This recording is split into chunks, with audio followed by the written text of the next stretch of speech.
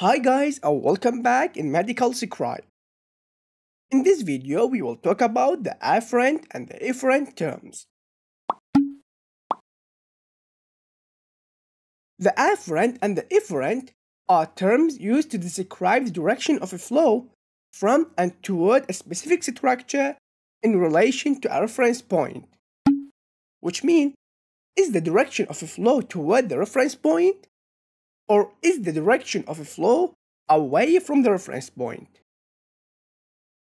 So the afferent mean toward the reference point, while the efferent mean away from the reference point.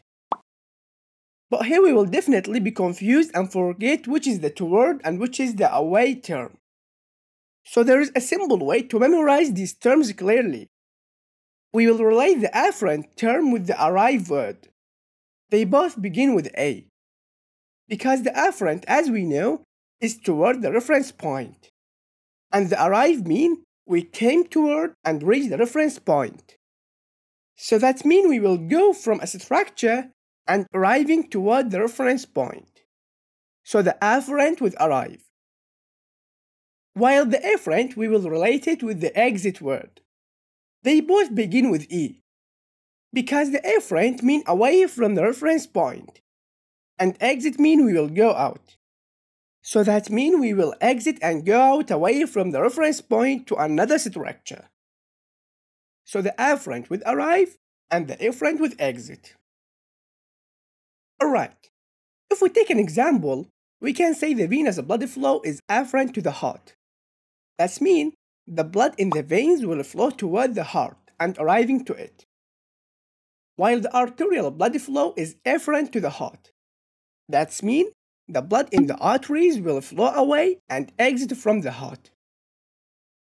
Or in the nervous system, we will divide the peripheral nervous system mainly to sensory and motor nerves.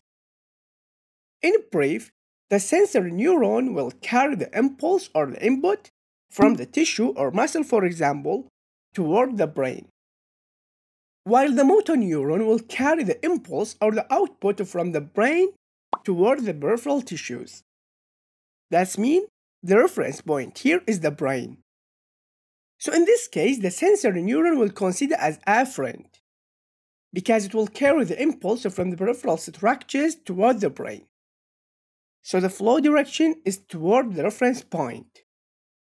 While the motor neuron will consider as efferent because it will carry the impulse from the brain and exit toward the peripheral tissues. So the flow direction is away from the reference point.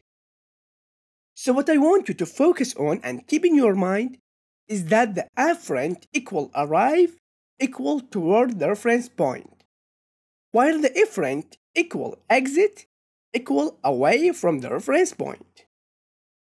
So that was almost everything about the afferent and the efferent terms. And that's it. I hope what I said makes sense. See you next video and goodbye.